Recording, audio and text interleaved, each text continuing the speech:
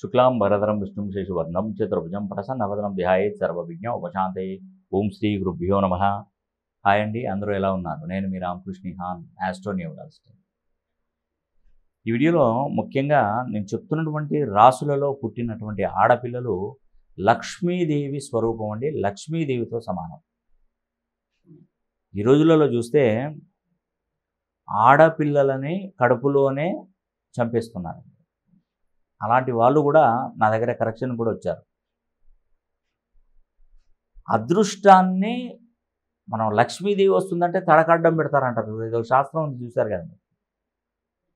నిజంగా నేను ఒక ఆవిడ మనకు అంటే పేరు ఎందుకు కానీ అంటే చెప్తున్నాను. వాళ్ళకు ఇంటర్ అడ్రస్ వాళ్ళ డోర్ నెంబర్ అయితే ఏమి ఇవ్వట్లేదు. చెప్తున్నాను. భీమవరం నుండి దేవి అనే ఒక ఆవిడ నాకు కాల్ చేసింది.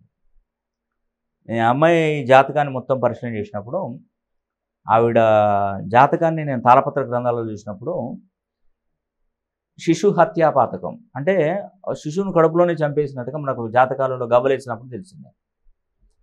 అక్కడ నుండి వాళ్ళకి స్టార్ట్ అయిందండి. వాళ్ళ డిస్టర్బెన్స్ ఎట్లా స్టార్ట్ అయిందంటే వాళ్ళ మామగారికి నలభై ఎకరాల ఆస్తి. అది మొత్తం హరించుకుని పోయి బత్తాయి తోట కొబ్బరి తోట ఈ తోటలన్నీ వెళ్ళిపోయి మొత్తం అమ్మేసుకున్నారు. వాళ్ళ హస్బెండ్కి ఏంటంటే బెట్టింగ్ అలవాటు. క్రికెట్ బెట్టింగ్ ఈ హార్స్ రేసింగ్ ఈ బెట్టింగ్స్ క్రికెట్ బెట్టింగ్ ఈ బెట్టింగ్లు అవన్నీ జూదం ఆడడం ఇవన్నీ ఈ దెబ్బతో మొత్తం కోల్పోయారండి. మొత్తం టోటల్ మొత్తం కోల్పోయి లాస్ట్కి ఏంటంటే రెంట్ హౌజులలో ఉండే కాడికి వచ్చేసింది. ఓన్ హౌస్ ఓల్డ్ బిల్డింగ్లు మొత్తం అమ్మేసుకున్నారు. బండ్లు ఓడలు అవుతాయి ఓడలు బండ్లు అవుతాయి అనే దానికి నిదర్శనం వీళ్ళ ఫ్యామిలీ ఈ దేవి వాళ్ళ ఫ్యామిలీ భీమవరం. నేను చూశానండి. నీ జాతకం చూస్తే అమ్మ నువ్వు చేసింది ఎందుకు మాకు ఇట్లా అయింది సార్? ఫస్ట్ మేము వివాహం చేసుకున్నప్పుడు వాళ్ళ ఇంట్లో ముగ్గురు పాలేరులు ఉండేవాళ్ళు. ఇది జీతగాళ్ళు ఉండేవాళ్ళు. అంటే పని వాళ్ళకి వాళ్ళకే మేము డబ్బులు నెల అంటే సంవత్సరానికి జతకు రెండున్నర లక్షల రూపాయలు చొప్పున చాలా మేము ఒక ఏడెనిమిది లక్షలు ఇచ్చేంత స్థాయి మాకే ఉండేది. ఇంటి నిండా పని వాళ్ళే. ఈరోజు చూస్తే సుమారుగా ఒక ఐదు ఆరు ఏళ్ళ సంవత్సరాలు ఐదు ఏళ్ళలో ఒక్కొక్కటి ఒక్కొక్కటి ఒక్కొక్కటి మొత్తం అమ్ముడు అమ్ముకున్నారు. మొత్తం టోటల్గా ఇప్పుడు పరిస్థితి దారుణంగా ఉంది. ఎందుకు ఇట్లా జరిగింది సార్? అసలు ఏం కర్మ? అసలు నేను వచ్చినా వేలా విశేషమా? అతను అతని ప్రాబ్లమా ఏది అర్థం కాదు. కానీ నాకే అపనిందలు అయితే నాకే వచ్చినాయి. నేను వచ్చిన తర్వాతనే ఉన్న ఆస్తులు పోయాయని చెప్పేసి బంధువులు అంటున్నారని చెప్పేసి ఆవిడ చెప్పింది. నేను గవలేసి చూశాను. మరి నిజమా కాదా ఇది?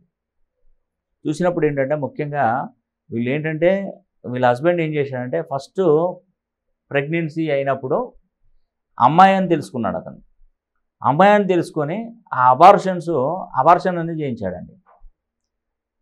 యాక్చువల్గా ఏంటంటే ఆ అమ్మాయి ఫస్ట్ సంతానం కనుక తారపత్రాలలో చూసింది ఫస్ట్ సంతానం కనుక అమ్మాయి కనుక వాళ్ళ ఇంట్లో జన్మించారనుకోండి ఆ ఇల్లు నిజంగా లక్ష్మీదేవి ఎప్పుడు కలకల్లాడుతుంది వాళ్ళు చేస్తున్నటువంటి వ్యాపారాలు కానీ ఉద్యోగాలు కానీ ఏదైనా కానీ దీనికి పది రెట్లు సంపాదించుకుంటారని మనకు జాతకం చూపుతుంది కానీ వాళ్ళు ఏం చేశారంటే మొత్తం అపార్షన్ చేసుకొని అబ్బాయి కోసం చూశారు. నేను చెప్పానండి. చెప్తే ఆవిడ కళ్ళ నుంచి అంటే ఇక ఏడిపోయానండి. మొత్తం టోటల్గా ఏడవడమే మొదలుపెట్టింది. వాస్తవం సార్ ఇది నేను ఎంత వద్దని నేను మొత్తుకున్నా కూడా నేను చెప్పినా కూడా మా హస్బెండ్ వినలేదు వినకుండా తీసేశారు. అక్కడి నుండే మాకు దరిద్రం అనేది కూడా వెంటబడింది సార్ అని చెప్పారు. అంటే కొన్ని కొన్ని సందర్భాలు నేను చెప్తున్నాను కదా. నేను చెప్తున్నటువంటి రాసులలో పుట్టినటువంటి ఆడపిల్లలు నిజంగా లక్ష్మీదేవితో సమానం అండి మరి అలాంటి రాసుల జాబితా కనుక మనం చూసినట్టయితే మొట్టమొదటిది ధనస్సు రాశి అండి. అయ్యో మా అమ్మాయి ధనుసు రాశిలో పుట్టింది మూలా నక్షత్రంలో పుట్టింది ఈ విధంగా ఈ నక్షత్రం పూర్వాషాఢ నక్షత్రంలో పుట్టింది ధనుసు రాశిలో పుట్టింది ఉత్తరాషాఢ నక్షత్రం ఇట్లా మనకు లక్ష్మీదేవి నక్షత్రం ఇవన్నీ అనుకుంటారు కానీ నిజంగా అదృష్టం అండి వీళ్ళు. అదృష్టవంతులు. మీరు ధనస్సు రాశిలో పుట్టినటువంటి ఆడపిల్లలు ఇంట్లో ఉంటే లక్ష్మి మీ వెంట పడుతుంది. గుర్తుపెట్టుకోండి ఆ ఇంట్లో ఎప్పుడు కూడా దేనికి లోటు ఉంటుంది కాకపోతే దీంట్లో ఉన్నటువంటి సమస్య ఏంటంటే ఈ ధనసు రాశిలో పుట్టినవారు ఆరు పదిహేను ఇరవై నాలుగో తేదీలలో వివాహం చేయకూడదు. అలాంటి తేదీలలో పుట్టిన అబ్బాయితో వివాహం చేయొద్దు. అతని డెస్టిన్ నెంబర్ ఆరు అయి ఉండకూడదు. డేటు మంత్ ఇయర్ కొడితే ఆరు అయి ఉండకూడదు. ఈ ధనసు రాశిలో పుట్టినవారు ఆరు పదిహేను ఇరవై నాలుగో తేదీలలో పుట్టి ఉండకూడదు. తను పుట్టకూడదు పుట్టినటువంటి వారిని వివాహం చేసుకోకూడదు. వాళ్ళ డెస్టిన్ నెంబర్ ఆరు ఉండకూడదు. ఈ పాయింట్ ఒకటి గుర్తుపెట్టుకోండి. అంతే ఇంక వేరే ఏది సవాలే లేదు. కరెక్ట్గా ఉంటుంది చాలా బ్రహ్మాండంగా ఉంటుందండి. మరి వాళ్ళ పరిస్థితి ఏంది? మరి ఇట్లా ప్రాబ్లంలో ఒకవేళ ఆ డేట్లో పుట్టారు ఆ డేట్లో పుట్టినటువంటి వారిని వివాహం చేసుకున్నారు మరి వాళ్ళు ఎప్పుడు ఇబ్బంది పడవలసిందేనా? ప్రతి సమస్యకు ఒక పరిష్కారం ఉంటుంది ఖచ్చితంగా. ఉంటుందండి. పరిష్కారం లేకుండా ఎక్కడ ఉండదండి. ఏదో విధమైనటువంటి పరిష్కారం అయితే ఉంటుంది. మనం తారపత్ర గ్రంథాలలో చూస్తాం దానికి సంబంధించినటువంటి పరిహారం చెప్తాం అది చేసుకోండి. అది వేలు లక్షలు కోట్లు ఖర్చు అయ్యేది కాదండి. చిన్న ఒక ఐదు పది రూపాయలలో అయిపోతుంది. కంప్లీట్గా క్లియర్ అయిపోతుంది. ఐదు పది రూపాయలు కాదండి ఫ్రీగానే అయిపోతుందండి. ఆ జాతకాన్ని స్థితిగతులను బట్టి కొన్ని కొన్ని రెమెడీస్ పూజలు చెప్తాను. అది చేసుకోండి. సరిపోతుందండి. ఇంకేం ప్రాబ్లం ఉండదు. ఇకపోతే కర్కాటక రాశి. ఈ కర్కాటక రాశిలో పుట్టినటువంటి వారు కూడా ఆడపిల్లలు ఇంట్లో కర్కాటక రాశిలో పుడితే అదృష్టవంతులండి. నిజంగా వీళ్ళు కర్కాటక రాశిలో పుట్టినటువంటి ఆడపిల్లలు మనస్తత్వకారకుడు చంద్రునికి సంబంధించినటువంటి రాశి అండి ఇది. వీళ్ళు మనస్సు చాలా గొప్ప మనస్సు. ఎవరైనా ఇబ్బందులు పడుతున్నారు ఏదైనా సమస్యలో ఇరుక్కున్నారంటే ఏదో విధమైనటువంటి సహాయ సహకారాలు చేస్తూ ఉంటారు. అలాగా వీరికి కర్కాటక రాశిలో పుట్టినటువంటి ఆడపిల్లలు లక్ష్మీదేవితో సమానం అండి. కాబట్టి ఇలాంటి వాళ్ళని రూపాయి కట్నం తీసుకోకుండా పెళ్ళి చేసుకోవచ్చు. కొన్ని కొన్ని రాశులు ధనస్సు రాశి కర్కాటక రాశి మేషరాశి కుంభరాశి. ఈ నాలుగు రాశులలో పుట్టినటువంటి వారికి అసలు కట్నం వద్దనే చెప్పండి. ఇలాంటి రాశులలో పుట్టినటువంటి పిల్లల్ని మీరు వివాహం చేసుకున్నట్టయితే ఆ ఇల్లు ఎప్పుడు కూడా వాళ్ళు కోట్లకు కోట్లు కోటాను కోట్లు సంపాదించి ఉన్నతంగా జీవిస్తారు. ఎంత చెట్టుకు అంతే గాలండి. ఎవరి స్థాయిని బట్టి వాళ్ళకి అదృష్టం కలిసి వస్తూనే ఉంటుంది. నేను వందకు వంద శాతం నిజం చెప్తున్నాను. ఒక్కసారైనా మీ పేరును మంచి సంఖ్యాపనంలోకి మార్చుకోండి. ఇప్పుడు కర్కాటక రాశిలో పుట్టారనుకోండి. కర్కాటక రాశిలో పుట్టినటువంటి వారు తొమ్మిది పద్దెనిమిది ఇరవై ఏడో తేదీలలో పుడితే సమస్య.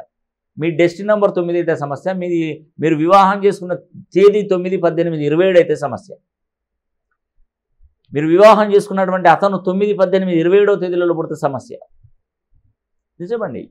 ఇవి ఏం గుర్తుపెట్టుకోవాలి? ఇప్పుడు మేషరాశి ఉందనుకోండి మేషరాశి వారికి మేషరాశి వారు ఐదు పద్నాలుగు ఇరవై మూడో తేదీలలో పుడితే సమస్య అండి.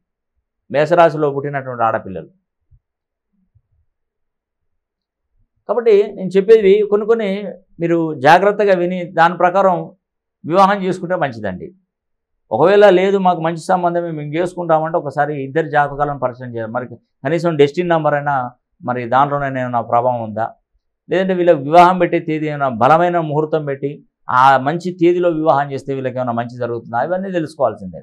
ఏదో టూకీగా మనం వివాహానికి ఈ తేదీ బాగుంది ఆ తేదీ బాగుంది ఆ రోజు బాగుంది ఈ వారం బాగుంది. ఇలా కాదండి. ఇప్పుడు చాలామంది ఏం చేస్తున్నారు?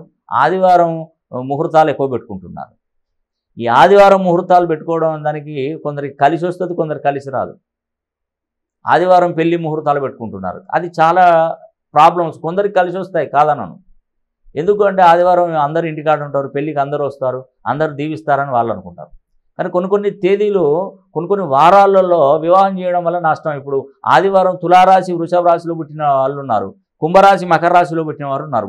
ఈ నాలుగు రాశులలో పుట్టిన వారు ఆదివారం వివాహం చేసుకుంటే ఎక్కువగా సమస్యలు కొని తెచ్చుకుంటారు. భార్యాభర్తల మధ్య విభేదాలు డిస్టర్బెన్స్ ఎక్కువగా ఉంటాయి. ఆర్థికంగా నష్టపోతారు. ఫ్యామిలీ ఫ్యామిలీ డిస్టర్బ్ అవుతుంది. మీరు నేను కా నేను చెప్పింది నిజమా అబద్ధం అనేది మీరు ఒకసారి మీ బంధువులలో ఎవరైనా ఉన్నారా? తులారాశి వారు వృషభ రాశి వారు మకర రాశి వారు కుంభరాశి వారు ఈ నాలుగు రాశులలో పుట్టిన వారు ఆదివారం వివాహం. దీంట్లో ఇంకొక ఈజీ టెక్నిక్ చెప్తాను చూడండి. భార్యాభర్తలు విడిపోయిన వాళ్ళు కానీ డైవర్స్ తీసుకున్నటువంటి వారు కానీ భార్యాభర్తలలో కొన్ని ప్రమాదాలు కొన్ని కారణాల వల్ల చనిపోయినటువంటి వాళ్ళు ఎవరైనా ఉన్నారా? ఒక్కసారి చూడండి వాళ్ళని. వాళ్ళని అడగండి ఏ రాశిలో పుట్టావమ్మా? ఏ నక్షత్రంలో పుట్టావు? ఏ రాశిలో పుట్టావు? ఒకసారి ట్రై చేసి అడగండి. నేను చెప్పినటువంటి తులారాశి అనే ఉంటుంది వృషభ రాశి అనే ఉంటుంది మకర రాశి అనే ఉంటుంది కుంభరాశి అనే ఉంటుంది. ఈ నాలుగు రాశులలో పుట్టిన వారే ఉంటారు. ఆదివారం కనుక వివాహం కనుక చేసుకున్నట్టయితే బెడిసి కొడుతుందండి చాలా ప్రాబ్లం ఉంటుంది. ఒకవేళ తెలిసి తెలియక మీరు ఆ స్టెప్ వేశారనుకోండి ఆ దాని ప్రభావం ఎప్పటికైనా మీ మీదనే పడుతుంది.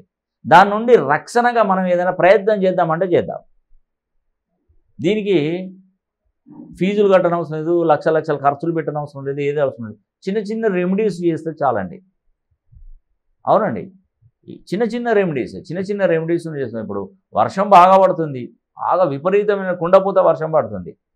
వర్షాన్ని ఆపుతారా? లేదంటే మీరు తడవకుండా మీరు చూసుకుంటారా? ఒక రెయిన్ కోట్ వేసుకొని బయటకు వెళ్తే సరిపోయి? ఆ వర్షాన్ని ఆపడం అనేది మూర్ఖత్వం. దానికి అనుకూలంగా అంటే చిన్న చిన్న ప్రయత్నాలే. మనం వర్షాన్ని ఆపాలంటే మనం మన వల్ల కాదు. మనం ఆపలేము.